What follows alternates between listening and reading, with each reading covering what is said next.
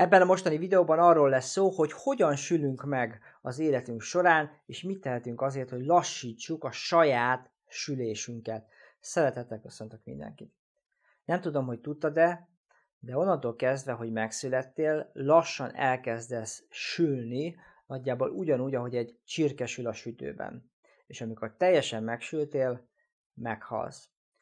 Tudom, hogy őrültségnek hangzik, de ez az igazság, ez történik. Ugyanolyan folyamatok zajlanak le a testünkben az életünk során, mint ami a sült csirkével is történik a sütőben, csak sokkal lassabban.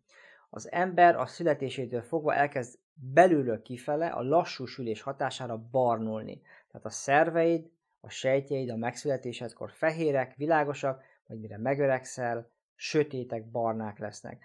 Például, ha megnézzük egy csecsemőnek a porcait, akkor azok fehérek. Ha megnézzük egy 90 éves embernek a porcait, akkor azok barnák, mert megsült. Azt a folyamatot, amely során a sütőben rózsaszín, nyers csirkehúsból végül egy kész barna grill csirke lesz, glikációnak nevezzük. A szóból következtethetünk arra, hogy a cukor főszereplő ebben a folyamatban, mindjárt kitérünk rá. Minden egyes alkalommal, amikor a testedben megnő a cukorszintje, tehát minden egyes glükóz csúcs alkalmával felgyorsul a glikációt, azaz felgyorsul a sülésed. Végeredményben felgyorsul az öregedésed. Tehát a glikáció az kéz a kézben jár az öregedéssel. Amikor finomított szénhidrátot, cukrot, keményítőt eszel, akkor lényegében feltekered a gázt, hogy még gyorsabban megsülj. Az elfogyasztott cukorral saját magadat sütöd, mint egy csirkét.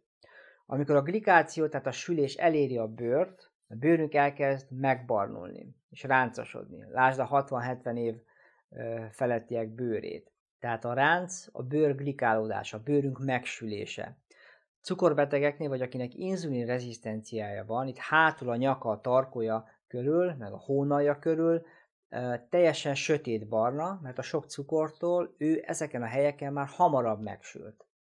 Láthatom most ezen a képen egy olyan embernek a nyaka, tarkója hátul, aki már egy jó pár éve erősen inzulin rezisztens. Mindjárt rátérünk arra, hogy hogyan tudjuk a sülésünket, és ezzel végeredményben az öregedésünket lassítani, de előtte nézzük meg röviden, hogy pontosan mi is ez a glikáció. Glikáció akkor történik, amikor a cukor a fehérjével vagy zsírral lényegében összeolvad.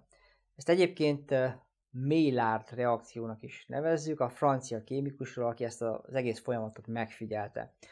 A vérképedben, ha nézed a HbA1c-t, tehát a hemoglobin A1c-t, ami ugye azt mutatja meg, hogy hogyan alakult a vércukor szint a megelőző három hónapban, az nem más, mint a glikált hemoglobin, tehát a hemoglobin, ami egy fehérje, hozzáragadt, hozzákapcsolódott a cukorhoz, azaz a cukor glikálta a hemoglobint. Tehát ez is egy glikáció.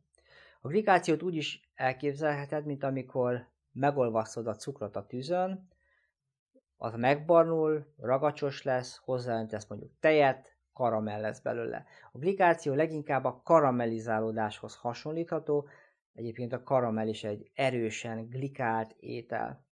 Ha erős hő van jelen, a glikáció még erőteljesebb. Ha a főzés során erős hő alatt cukrot fehérjével, vagy cukrot zsírral kombinálunk, erős glikáció történik, és ezeket a veszélyes anyagokat, amelyek létrejönnek ilyenkor, fejlett glikációs végtermékeknek nevezünk. Például, amikor felforosított olajban megsütjük a fánkot, vagy a hasáburgonyát, az egy erősen glikált étel lesz. Zsír plusz keményítő szénhidrát cukor. Amikor főt fagyit készítünk, a tejszint és a cukrot melegítjük fel, tehát zsírból és cukorból hozunk létre fejlett glikációs végtermékeket. De ezek a fejlett glikációs végtermékek nem csak ugye az ételekben keletkeznek, ez a kisebb probléma, hanem a saját testünkben is, és ez sokkal, de sokkal lényegesebb, hiszen a testünk is fehérjéből és zsírból áll. Ugye amikor bevisszük a cukrot, az ugyanúgy glikálni fogja a testünket is belülről. Ezek a fejlett glikációs végtermékek összefüggésben vannak nagyon sok betegséggel. Az első negatív hatásuk, hogy elzárják a vékony ereket. Például a szemekben, ebből lesz ugye látásromlás és hályog. Elzárhatják a veséknél, ebből lesz a vesebetegség, a szívnél, az agyban is, ebből lesz ugye az Alzheimer és a Parkinson-kor. Elzárhatják a hasnyálmirigynél is, ebből lesz a cukorbetegség. A második negatív hatásuk, hogy erőteljes oxidációt okoznak a testünkben, így jelentősen felgyorsítják a töregedésünket. Aztán leptin rezisztenciához is vezetnek. Ugye a leptin az a hormon, ami az agyba elküldje az információt, hogy jól laktál. Nem kell többet enni. Ha rezisztencia van erre a hormonra, ez az információ nem jut el az agyba, és csak eszel, és eszel. A legtöbb modern étel, amit mondjuk csak száz éve fogyasztunk, eszünk, azok többsége tele van fejlett glikációs végtermékekkel, és szinte mind olyan, hogy rengeteget kell legyünk belőlük, mert leptin rezisztenciát okoznak, így csak lassan jut el az agyba az információ, hogy jól laktunk. Ha megeszel egy négy tojásos rántottát, vagy egy minimálisan átsült, zsírosabb marhahúst, steakhúst, nagyon gyorsan jól lakottnak érzed magadat, mert ezeket az ételeket több ezer éve eszük, nem modern ételek, így, így nincsenek tele leptingátló glikált vegyületekkel, amelyek blokkolnák az éjségérzet megszűnését. Ezek a fejlett glikációs végtermékekkel telített ételek felelősek 98%-ban a jelenkori elhízásért. És természetesen a májat is teljesen szétcsapják, ugye nagy mértékben felelősek a máj állapot romlásért. Nézzük meg akkor, hogy hogyan tudjuk a glikációt, a sülésünket lassítani, hogyan tudjuk a fejlett glikációs végtermékek mennyiségét csökkenteni, mert ezzel lényegében az öregedésünket lassítjuk, ami egyben azt is jelenti, hogy csökkentjük a betegségek kialakulásának esélyeit.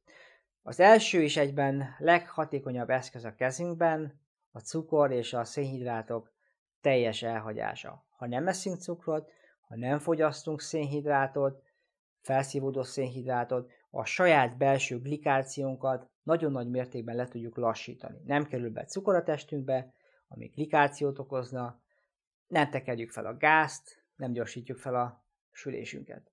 Ha mégsem tudjuk elhagyni a cukrot, akkor a legkisebb kárt úgy okozhatjuk, ha a főétkezések során egyáltalán nem eszünk cukrot, szénhidrátot, tehát a fehérjével, a zsírral és esetleg zöldséggel együtt, amit elfogyasztunk, nem viszünk be semmit, amiből sok cukor keletkezne. És bármit, amit cukrot tartalmaz, vagy cukorra alakul a testünkben, azt a főétkezés után két-három órával fogyasztjuk el, amikor a főétel már jelentősen lebomlott a gyomorban. Az ételekkel elfogyasztott fejlett glikációs végtermékek bevitelét szinte lehetetlen teljesen elkerülni, de nagyon nem mindegy, hogy mit teszünk. Hatalmas különbségek lehetnek a, a különböző ételek között. A jelenlegi tudásunk alapján egyébként az ételekkel elfogyasztott glikált anyagoknak kb. a 10%-a szívódik csak fel az emésztés során, tehát ez egy viszonylag jó hír. Így az ételekkel elfogyasztott fejlett glikációs végtermékek valószínűleg nem jelentenek akkora problémát, mint az a glikáció, ami a saját testünkben zajlik le a sok elfogyasztott cukortól. Nézzük meg, mely ételekben van sok ilyen vegyület. Aminek sárga kívülről a színe is meg lett sütve, na abban rengeteg van. Bármilyen rántott hús, bármilyen paníros étel, sült krumpli, fánk, lángos, péksütemények, a kenyérhéja stb. Ha a húsokat hosszú ideig erős hő alatt sütjük, szintén megnő a fejlett glikációs végtermékek mennyisége bennük. Ha valamilyen cukros pácban áztatjuk, vagy bekenjük a húst sütés előtt valamilyen cukros cuccal, szintén sok lesz benne. Tehát az alacsony hőmérsékleten főtt húsban és a rövid ideig főtt vagy sült húsban van a legkevesebb ilyen vegyület. A bolti sokszorosan feldolgozott ételek, a csomagolt ételek 98%, amit nem kell hűteni, vagy a kész ételek, amelyeket csak meg kell melegíteni és már lehetők, azok mind tele vannak fejlett glikációs végtermékekkel. Ezek a fejlett glikációs végtermékek adják egyébként a nagyon finom ízt a bolti csomagolt ételeknek, meg azoknak is, amiket mi magunk sütünk olajon, vagy hosszú ideig a sütőben. Tehát ezektől olyan finomak valójában az ételek. A modern ételek tervezői ezt nagyon jól tudják, ezért ugye odáig mentek el, hogy mondjuk elkészítik a chipset, ami eleve tele van ilyen anyagokkal, majd utána fogják, és még külön hozzáadnak ilyen glikált anyagokat, mert tudják, hogy ettől lesz finomabb, ettől még finomabb lesz, tehát még többet fog fogyasztani ugye az ember. Amikor a korábban már megfőtt ételt újra felmelegítjük, nagyjából megduplázzuk benne a fejlett glikációs végtermékek mennyiségét. A legkevesebb fejlett glikációs végtermék a tojásban, a tejben, a zöldségekben és a gyümölcsökben található meg, de ne felejtsük el, hogy ha erősen édes gyümölcsöket fogyasztunk, azzal viszont komoly glikációt okozunk a saját testünkben, amely egyébként egy bizonyos mennyiségű glikált anyagot le tud gond nélkül kezelni. Tehát a gond akkor van, ha hosszú távon rendszeresen nagyon sok ilyen vegyületet fogyasztunk el az ételekkel. A C-vitamin és a polifenol vegyületek fokozni tudják a védelmet a fejlett glikációs végtermékek által okozott kárral szemben. Miben van sok C-vitamin és sok polifenol antioxidáns vegyület? Savanyú káposzta, zöld színű zöldségek, például leveleskál, rukkola, káposztafélék, zeller, a paprikafélék, a retek, a fűszerek többsége, bogyós gyümölcsök és a gyümölcslevek, például a fekete áfonya, málna, fekete berkenyelé, tőzegáfonyalé, homoktövislé, a citrusfélék, a citrom, a grapefruit, a lime, és természetesen a teák, a kamilla tea, menta tea, zöld tea. A konkrét polifenol vegyületek közül kiválóak a resveratrol, legjobb forrás a szőlőmagörlemény, az astaxantin, bevihetett például az Immunex algakomplexe, a rejsi vagy ganoderma gomba, a tokotrianolok, ez ugye a valódi E-vitamin, és a kvercetin, amit kapszula formában is pótol, lehet pótolni, de az elején felsorolt bogyós gyümölcsökben és belül készült levekben is jelen van. A benfotiamin, ez ugye egy zsírban oldódó B1 vitamin, a B6 vitamin, illetve az alfa liponsav, az a három mikrotápanyag, amely jelenlegi tudásunk alapján a legnagyobb mértékben segíthetnek a fejlett glikációs végtermékek által okozott kár enyhítésében. Mindegyiket célszerű kapszula étrendkiegészítő formában alkalmazni. A következő tudnivaló, hogy a növényi olajok, tehát a magas omega-6 tartalmú olajok négyszer-ötször nagyobb mértékben tudnak létrehozni a cukorral vegyülve fejlett glikációs végtermékeket az állati eredetű zsírokhoz képest. Tehát nagy mértékben tudjuk csökkenteni mind a testünkben, mind a sütés, főzés során ezeknek a glikált vegyületeknek a termelődését, ha a növényi olajok helyett, növényi olajok alatt főként ugye a gabona és magolajokat értem, tehát állati eredetű zsírokat eszünk, vagy használunk a sütéshez, főzéshez. És végül nézzük meg a főzést. Hogyan főzünk, süssünk, hogy a lehető legkevesebb glikált anyag keletkezzen az ételben. A glikációra nagyban hat az étel nedvessége, a hőmérséklet, az étel pH értéke és az antioxidánsok mennyisége, amelyeket belefőzünk az adott ételbe. A legkevesebb fejlett glikációs végtermék a nedves főzés, tehát a sok vízzel, gőzzel való ételkészítés során keletkezik, mint amilyen a párolás, a gőzölés, a posírozás vagy a levesek. A legtöbb a növényi olajban való sütés alkalmával.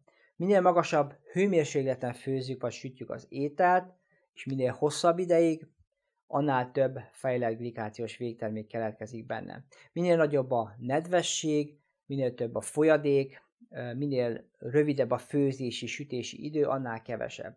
A főzés során átlag fele annyi keletkezik, mint a sütés során.